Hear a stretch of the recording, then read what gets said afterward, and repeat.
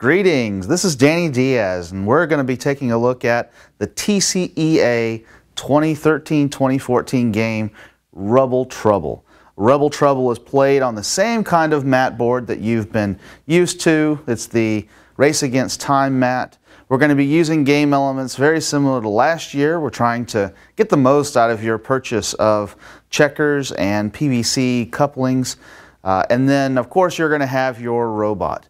Uh, some things that we'll get into a little bit later are some of the new elements that you have in this year's game, which are the team supplied game pieces.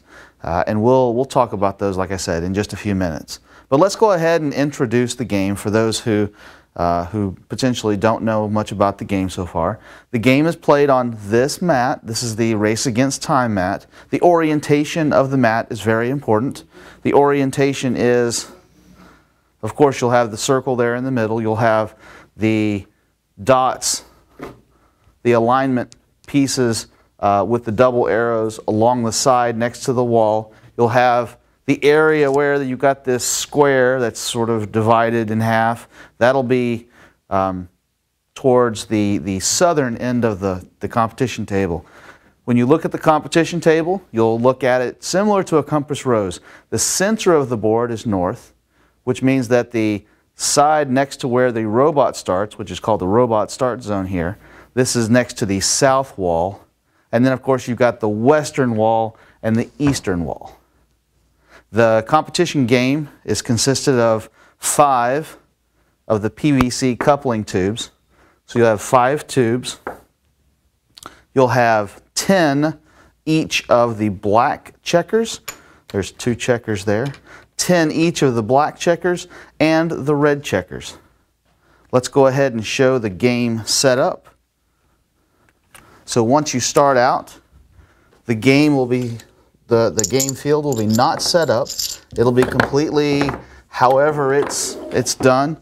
You will take the PVC couplers and put the PVC couplers on each of these target zones on the mat. There's five target zones.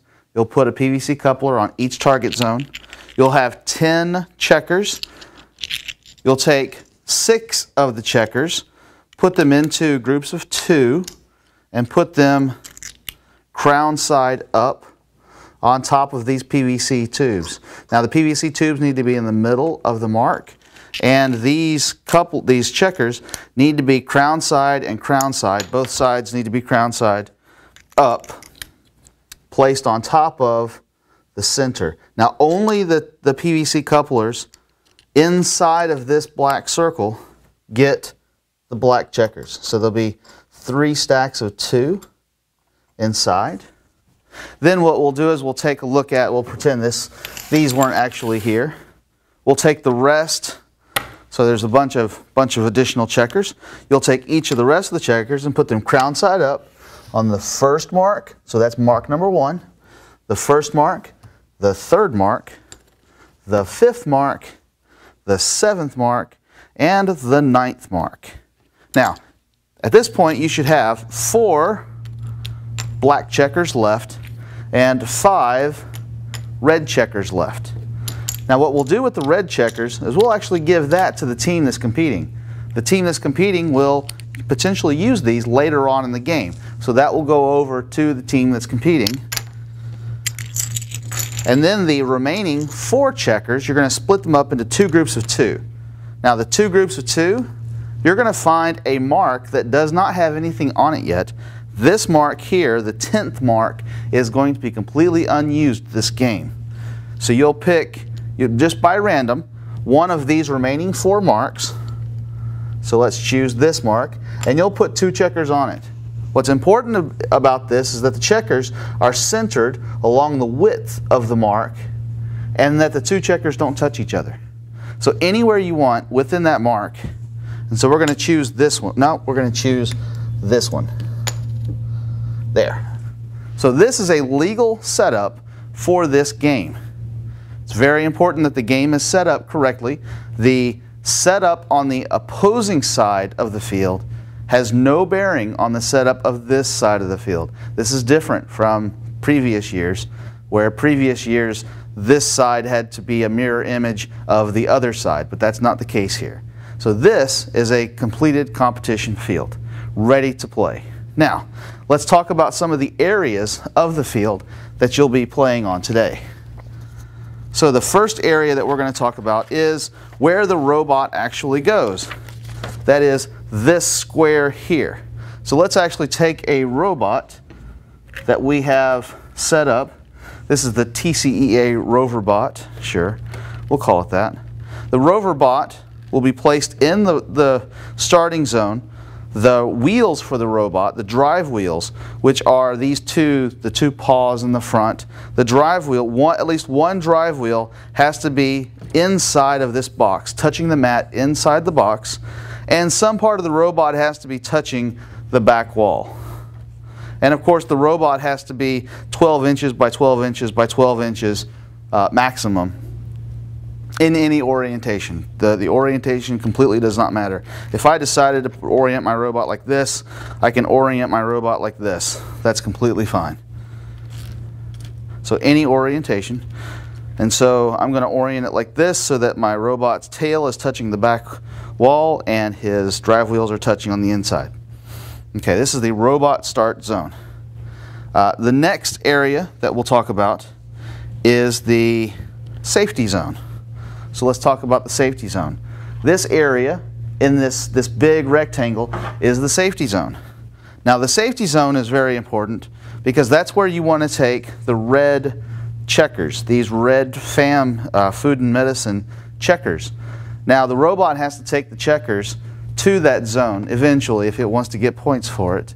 Um, but only you can only take one red checker at a time. So the robot can only ever be in contact with one red checker at a time. The same goes for the pillars, the PVC pillars. The robot can only ever be in contact with one PVC pillar at a time as well. So teams have to balance how to do everything that they want to do in the game with the amount of time that they have in the game because you only get two minutes in a competition game.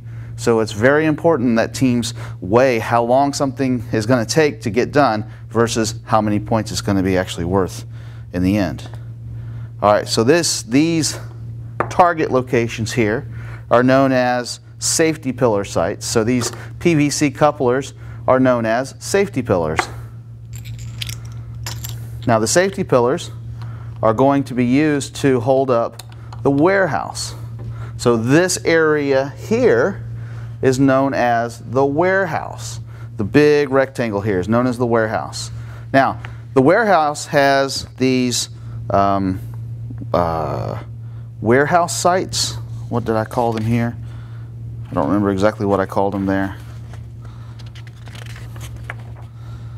Let me take a look. Ah, weakened structure marks. So these are weakened structure marks, places where in the warehouse where the warehouse is weak and needs support. And so you will take a, uh, a pillar, you can take this safety pillar and pull it over into an empty area. If I take this safety pillar over to a mark that already has something on it, it is not worth any points until it is the only thing that's on the mark. And all it has to be doing is just touching the mark. So you'll want to take it to an area where there's nothing there and the safety pillar has to have nothing on top of it. Now notice that the two safe, the, the three safety pillars in the center have debris. So the black checkers are known as debris. These safety pillars have debris on top of them. So you're going to have to remove the debris and watch for falling objects. So you'll take the debris off, however it is you want to take the debris off. It's completely up to you. And then take these to this area. And we'll talk about more what points things are worth and how to, how to maximize your points later. This is just for general knowledge right now. And then this circular area that all of this is in is known as the FAM drop zone. FAM stands for food and medicine, F-A-M. So it's the food and medicine drop zone. The food and medicine drop zone, if there are no items, even the robot. The robot counts as an item. as long as there are no items within the inner part of this circle, the team can then use their extra five food and medicine that are given them to them at the beginning of the tournament. They can take one checker and place it on one of these three marks, just one of those marks. And at this point, there's something in there, so they can't place another one. And then the robot can come in and grab the piece and then take the piece to that safety zone. Once this area is cleared out again, then the team may take another food and medicine and place it in, on any mark that they want. And then the robot can come in, send it over to the zone, and then come back out. Okay? All right. So we've talked about the areas of the competition field. Now let's talk about the challenges. So let me go ahead and set this field back up the way that we would normally have it. And then we'll go through each challenge one by one for the competition. All right, so the first challenge that we'll talk about is, of course, the one that um, is going to cause everybody a little bit of funness, which is erecting a radio tower. So let's talk about what a radio tower really is. So this is one of the team supplied game pieces. Now the team supplied game pieces are literally team supplied game pieces. These are game pieces that are built by a team. So what are they built out of? Well, that's a good question. It's actually built out of anything that you can build a robot out of. You can build them out of Lego pieces, you can build them out of cardboard, tape, string, uh, popsicle sticks, whatever you want to build them out of, as long as it is still allowed within the, the allowed materials, which is the administrative section, allowed materials, you can build it. Now, of course, the allowed materials says as long as it's under $5, you can generally do it. So we're going to take a handy dandy uh, Expo whiteboard cleaner and we're going to add that to our bill of materials and that is going to be considered our radio tower. So we're going to put the radio tower on the robot. All the team supplied game pieces have to be with the robot at the beginning of the match. And then we're going to take, well let's just go ahead and start off with this and we'll talk about the other piece here in just a little bit. So we've got our robot and we've got our radio tower on the robot. Now let's go ahead and add, just so that we're sure here, okay, this is going to be for one of the last missions. This is going to be one of our safety barriers. So we would add this to our bill of materials so that we would be able to have it as our safety barrier. Now you're not allowed to use your radio tower or your safety barrier unless it's in your bill of materials. If it's not in your bill of materials, you can't use it. All right, now all of these items have to be with the robot at the beginning of the match. And with the robot, the robot cannot be larger than 12 inches by 12 inches by 12 inches. Now I'm going to guarantee that this is within 12 by 12 by 12 if you want to actually do some math, you might find out that it, it might not be, but for the sake of argument right now, it is. It's within 12 by 12 by 12. Okay, so this is a legal robot right now. So the very first mission, and you can do these missions in any order, but we're going to talk about them in the order that they're in the, the competition game, is to place the radio tower on a wall. Mission 141, erect a radio tower. All right, so the radio tower can be placed on any of the three walls that are not the south wall. So remember, this is the south border wall. It's the one that the robot is touching at the beginning of the match. The robot will get no points for putting the radio tower on the south wall. But if the robot can place the radio tower, let's say the robot magically, rink, puts the radio tower up on the western wall or magically places the radio tower on the eastern wall, you get 25 points. And that's where it stops. So you get 25 points for placing the radio tower on one of these walls. So there was a great question on the forum that asked, so what happens if the radio tower is touching two walls? Two, let's even say two legal walls. So this would be two legal walls. Well, the rules say that the radio tower can only be placed on a single wall. So even though that is touching two legal walls, that would not count because it must only touch a single wall. So this counts for 25 points. All right, now if the radio tower can be placed on the center wall, I don't know if you can see this in the video. Okay, you can. If you can place the radio tower on the center wall, that is worth 50 points for both teams. Now, does that mean that the other team can abs do absolutely nothing whatsoever and score 50 points? Yes, it does. But what this is designed to have you do is cooperate with the other side in order to be able to get a shared goal. The shared goal is to put up a radio tower that everybody can use in order to uh, help save victims uh, of whatever tragedy that's going on.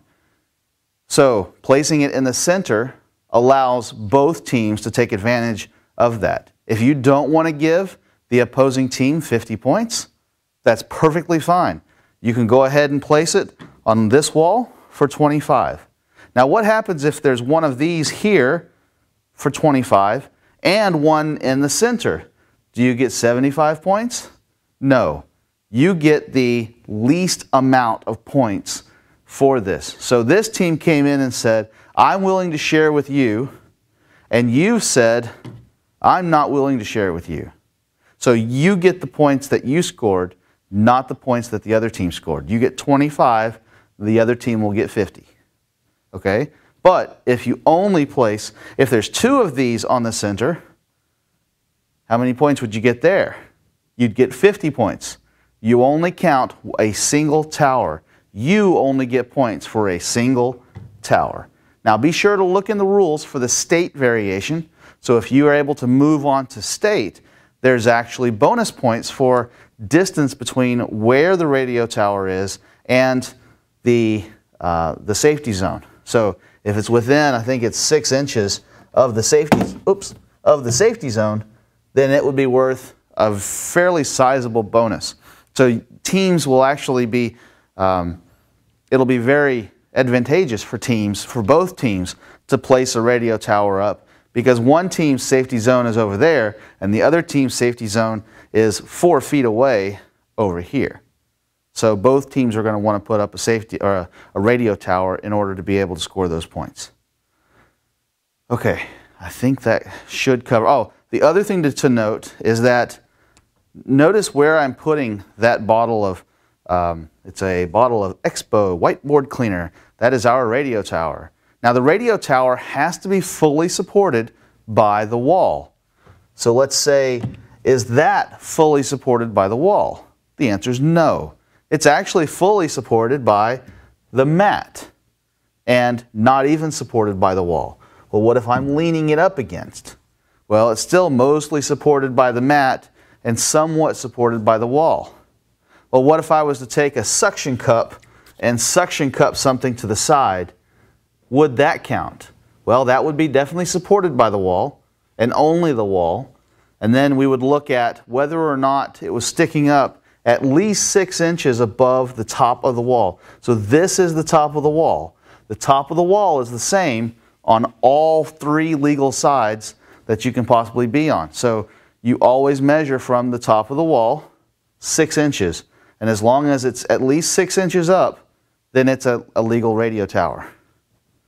Okay, so we've, we've covered the radio tower. Remember, it must be in your bill of materials in order to use it, and it must be a legal part, so it costs less than $5. Uh, total for everything whatsoever must be in your total of $5 in order for it to count. Okay, hopefully there, if you have any questions about this, absolutely go to the forum and ask. All right, so 142, task 142, remove safety pillars from FAM drop zone. So this is the FAM drop zone. These are the safety pillars. Pretty simple. All you have to do is remove those three pillars from the zone. So let's say we do this, we do this, and we do this. Are they out of the FAM drop zone? Absolutely. How many points do we get? We get 50 points. This is, this is a, a Boolean, did you do it? Yes or no. So are there any of the, um, the safety pillars in that zone? No. Now, what is considered in the zone? Is this considered in the zone? Yes, because it is inside the zone. Is this considered inside the zone? I don't know if you can see that very well, but the, the safety pillar is touching the black area, but not the inside white area. Okay? The zone is only defined by the inside of this circle. The black circle is not part of the zone. So this safety pillar, not touching any of the zone on the inside, is still outside the zone. Okay, so deliver FAM to safety zone. So what you what the robot needs to do in this game is actually take the red food and medicine and take these to the safety zone. Now there's five food and medicine on the board initially, and then if you can clear everything out of the center, remember if you clear everything out of the center, then you can then the team at any point in time can place one of their FAM that they have with them at the start of the game on any mark that they want to. Just one on any mark that they want to. And then, then the robot has to be able to move these out in order for the next one to come in. Now I'm moving these things around with my hand. What am I allowed, actually allowed to do during the game with my hand? Almost nothing. There's only two things.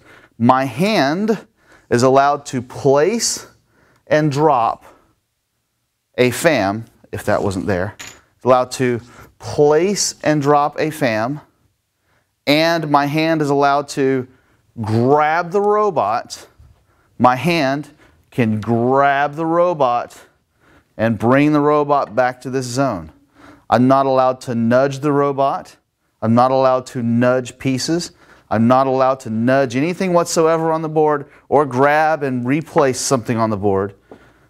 Your hand does nothing except place, if this area is empty, it places one FAM onto one of these three spots or grabs the robot and brings the robot back to the starting location.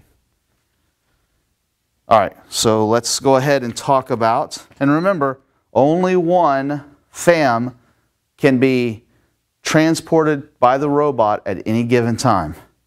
Okay, if the, let's say the robot is moving along and it grabs the first, it grabs the first checker and then is moving along and ends up, is that touching? Is one checker touching another checker? The answer to that is the checkers are touching, but the robot is not touching that second checker. It's not, the robot is not physically in contact with that second checker. But if that second checker comes over and touches the robot, then it is. As soon as the robot is touching more than one FAM, more than one red checker, the robot has to stop what it's doing. The robot has to be placed back in the robot start zone, and the two checkers, or three or four, or however many checkers it was touching, have to be removed from the board and placed in the referee's pocket. So they get permanently removed from the field of play. Okay, that also includes any of these safety pillars. If the robot is in contact with more than one safety pillar, at any time the robot stops, goes back to the start zone, and we take these off the board. And the robot suffers a penalty. We'll talk about the penalties in just a little bit. So now let's talk about the next mission, which is to remove the, okay, we got the safety pillars out. We've already removed the safety pillars from the FAM drop zone. Um, now we're going to talk about supporting the weakened warehouse structure. We've already kind of talked about that. So you take the safety pillars and you bring them onto these marks. All they have to do is just touch the mark and you got to have, and then you get 10 points per mark, and you get a 50 point bonus if you can get more than three or more touching those marks. For three or four marks touching an upright safety pillar. So is it possible to get one more than one safety pillar on a given mark? And the answer is no. So even sitting outright, it's impossible for one safety pillar to touch more than one mark. So the point is, if you have two safety pillars touching the same mark, that still only counts as one safety pillar touching a mark. Okay, they've got to touch in their own marks. So we right now we have three touching. We have two touching. We still only have two marks touching safety pillars. Read the, the description and the rules. It helps at least explain some of this. And then we have three again. Now what if it's touching an area that already has something in it? That doesn't count. It only counts if there's only a safety pillar touching the mark. If anything else is touching that mark, then it's not worth any points. But if the robot were to come over and knock that out of the way, then magically he's got his own mark. And so this would be worth 30 points plus a 50 point bonus, so 80 points. If you can get all five on there, it's worth a total of 100 points. Deliver the FAM to the safety zone. We've already covered some of this no matter what the robot has done on the field, and you want to go through the, the game and decide what order you're going to do things, because the order matters here. If you do things while the field is, is not chaotic, then you can guarantee that you know generally where things are, especially the FAM, because the FAM, there, there's five FAM on the field that are in known locations. So at the beginning of the game, everything's in known locations. Later on in the game, maybe not so much. So you want to take the red food and medicine and place it into the zone. Now, did I get that into the zone? No, I did not. To get it into the zone, it must physically be within the area marked of the, the mat. Now, does it have to be touching the mat? And the answer to that is no, it does not need to be touching the mat. So this is still considered in the zone because I am still within the space defined by the zone. And so the zone is the area marked by the mat projected upwards to infinity. And so this is still within, that is still within as well. All right, let's talk about containing rubble. Now remember the black checkers, they're known as rubble. These are dangerous items to safety workers. Now remember there are six of these rubble in the, uh, the, the, uh, the center of the board. On, there's two on each safety pillar at the beginning of the match. Plus there's four more in random spots over there uh, in the warehouse. Now what you want to do, you can have more than one if you want. You can have as many safety barriers as you want. But the way that you do this, and there's two ways to solve this mission. The first way is, let's do it the easy way first. The first way to solve this mission is to have your robot suck up. Go gobble, gobble, gobble, gobble, gobble, and contain rubble within the robot. Now, what does it mean for the rubble to be within the robot? It just means that the rubble is touching the robot, but not touching the mat. Pretty simple. So all the robot has to do is just contain the rubble, meaning that each rubble that is not touching the mat but is touching the robot, then you're good. All right, so the checkers in this, each checker in this configuration is only worth five points apiece. So you only get a total of potentially 50 points by taking all 10 checkers and pulling it into the robot. Or you can contain the rubble. Now, let's get our containment mechanism. This is just a simple pin uh, uh, bucket, a pin bucket. Now, I'm putting it on the robot like this for now. Pretend that the robot is a lot more sophisticated, and the robot has the ability to take the pin bucket and come over and then take the pin bucket and contain the rubble. Now, it, you don't have to have a top on this, okay? in order to contain the rubble, you would put something around the rubble. So let's say if you had a bracelet, but it must be all the way around the rubble. So if I take paper and put it over, that would be containing the rubble. It is around the perimeter of the rubble. And any rubble that is contained within this is considered contained. You get 10 points per rubble that is contained. Now, notice that um, if I were to do this, then it's contained. If I do this, is it contained? Well, if you look at it, the lip is around the outside of the rubble. So it is around the perimeter of the rubble. I didn't say where on the z-axis it had to be. I just said it had to be around it. So there's one example uh, in the, on the forum where I talk about, well, if you have the halo, so let's say your checkers found religion, uh, and there's a halo that's, that's above, and you're able to put the halo in your bill of materials, then as long as the halo is surrounding rubble, then it counts. So that would be considered uh, surrounding the, the, the checkers, the perimeter of the checkers. If I had a just a, a circular bit and just surrounded it, that would be good. If I had triangles or squares or rectangles surrounding it, that's good too. So be creative on your safety barriers, but it must be all the way around your perimeter. If you had a C-shaped object, a C-shaped object, and it wasn't completely surrounding the perimeter, is that good? No, it's not. It must be an enclosed perimeter all the way around the, the rubble. And let's move on to the last area, which is to empty the warehouse. So the warehouse, we want to empty the warehouse, meaning that it's completely searched. Meaning we want to get all game pieces except the safety pillars out of the warehouse. So right now we've got safety pillars, we've got three safety pillars, plus four rubble, plus one, two, three, four FAM in the warehouse.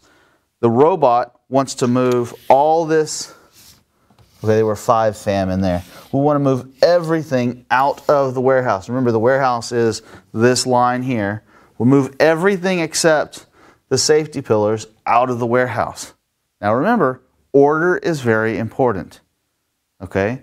Order is very important. So when you're thinking about this game, think about the order in which you're going to do things.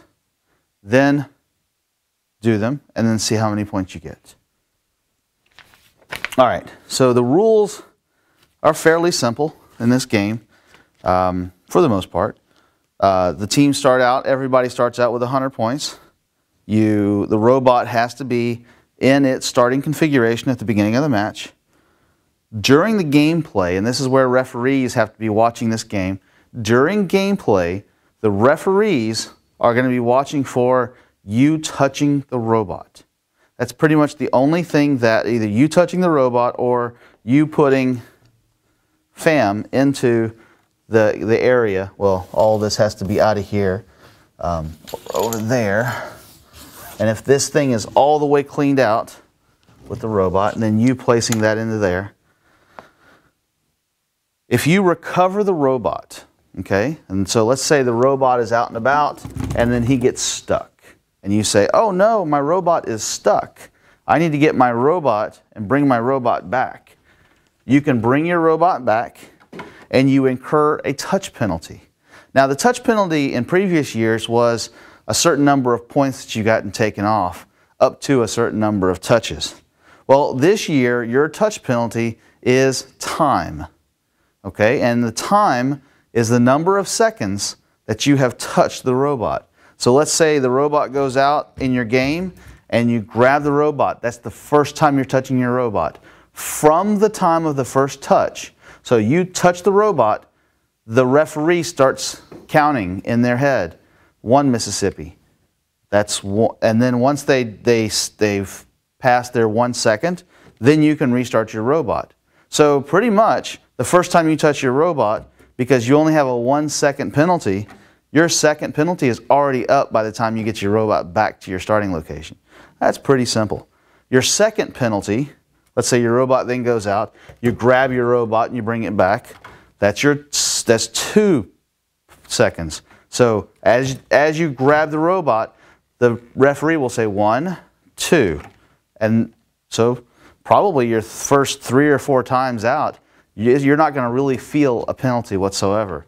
Your fifth time out, your sixth time out, your seventh time out, you're going to start feeling that penalty. You have to wait for the referee to indicate that you can go before you can actually start your robot back up. So that would so once you get to 10 seconds, you're pretty much eating up. You've already eaten up, you know, 10 factorial uh, amount of time on your game board, which is, you know, you've already eaten like what 40 seconds ish um, of time on the game board. So uh, almost 50 seconds. So you're um, you've already eaten up a lot of time. So you definitely don't want to be doing that. All right. Um, that's the recovery and the wait, the wait period. The next thing we'll talk about is, of course, um, containing the robot, containing the rubble within the robot. We've already talked a bit about that. Uh, Rule 205 specifically says what it means to, to contain um, uh, rubble within the robot. That just means that the rubble is touching the robot but not touching the mat. So that checker would be considered contained within the robot. Um, this checker would not be considered contained within the robot. This checker leaning up against the robot would not be considered contained. But this checker, these checkers on the dog's nose would be considered contained within the robot because it's not touching the mat, but it is touching the robot. Um, when the robot comes back to the starting location, your robot is disabled, is considered disabled until you start your robot back up. Well, once the referee says that it's okay and you start the robot back up. While the robot is disabled, you can reconfigure the robot however you want. This is Rule 206. It talks about um, that the robot, you can do whatever you want with the robot. Now, in previous years, if the robot was, let's say, three feet long and four feet wide, then you just bring the robot back, make sure it's in the starting configuration, and go. Well, now the robot, when you start your robot, your robot has to be within 12 inches by 12 inches by 12 inches, okay, before you can restart your robot. So the robot cannot, at the beginning of the match, expand out to three feet and then you bring the robot back, still expanded out to three feet, and start the robot back up. Your robot has to come back within 12 by 12 by 12 before you can restart your robot. And that's going to be potentially a tricky area that teams that don't read the rules are going to get tripped up on. Your robot must come back to that, so you have to make sure that it's very evident to the referee. If the referee cannot tell that the robot is still within 12 by 12 by 12, the, the referee may have to measure your robot. And that's time that's being taken off your game. So you need to make sure that the referee understands that your robot is within that size constraint. All right, so let's just very quickly um, field variances and game debris. So occasionally this mat, this field will not be uh, the same way that it's going to be at home. The mat might be a little bit wavy. Now right now we have these curls up on the sides. This will be taken care of at the competition site. They'll usually put some kind of double-sided tape to hold this down so that it doesn't trip up the robot. But the area underneath the center board might not be the same that you have at home. Okay, there is a gap under the center wall. And that gap is a design consideration that we have so that the mat can fit underneath the wall. But at competition, there's no specific size that that gap has to be. So be very careful about that. Anything that comes over into your field, let's say there's a team on the other side and they dump a bunch of checkers onto your side of the board. Well, the referee will figure out what checkers weren't yours and try to get those off your side of the board as quickly as possible. Okay, you can ask to have the referee take that off. You can leave them there, but you won't get any points for them. They're really just an annoyance to you. Um, two, Rule 209 talks about you're only allowed to carry one safety pillar at a time. Uh, rule 2.0.10 says you can only carry one uh, FAM, one food and medicine. Now, what happens if the food and medicine are touching each other? They're really close to each other. And you go to grab them. You have to be very careful to only grab one. If you accidentally touch two with your robot at any given time, remember, your robot goes back over there, you get your time penalty, and we take these off the board. Okay, so be very, very careful with checkers that are really close to each other. We may have to remove those off the board. Uh, and then, of course, remember if the FAM drop zone is empty, if this drop zone is completely empty, including the robot, the robot cannot be in this zone, then if you have additional FAM in hand, then you can place one on any of those three sites on the board. All right, and the state championship variation, I will let you guys read the state championship variation, or we can talk about it on the forum if you'd like to. If there are specific scoring examples that you'd like to have demonstrated for you. Um, let me know. Right now, the scoring example section of the manual is completely empty because nobody really seems to have a problem with um, figuring out how to score this. That might be a good thing, or it might not be a good thing. Um, let's cover one or two more small things. So, in the very beginning of the, the game, remember your all game supplied elements have to be on the robot. Okay, so we have our uh, our safety uh, barrier on the robot, and we have our radio tower. And these are the two elements that we're using for our radio tower. Now, if the robot goes out on the competition floor and then you grab the robot, are you allowed to bring these two items back? Well, these two items are considered with the robot. They're part of the robot as long as they're still with the robot. If they're once they're not with the robot anymore, they're not considered part of the robot anymore. So let's say your robot goes out and then it drops the it completely drops your uh, radio tower. Can you grab the radio tower and bring it back with your robot? The answer is no. Once the radio tower is no longer touching your robot, it's on the field. It's a game item on the field that you are not allowed to touch with your hands. So you have to be very careful with game supplied pieces. Once the game supplied pieces are no longer touching the robot, they're not with the robot. Now, what happens if the robot goes back out and touches the item again? Are they then with your robot again? The answer is no. It is not with your robot because they've left that at some point during the game, they've left your robot, which means they are game pieces on the field that cannot be touched by you. Now the robot can reach over and grab these items and take them over to where they need to go, but that's only if your robot's smart enough to be able to handle that. All right. Anything else that we um, that we failed to cover? Which there's not a whole lot that we've um, that that's really here. Uh, you can go ahead and go to the forum, check it out. Uh, if there's anything else that you want to talk about, go ahead and go to the forum and, and we'll talk about them. All right, thank you very much.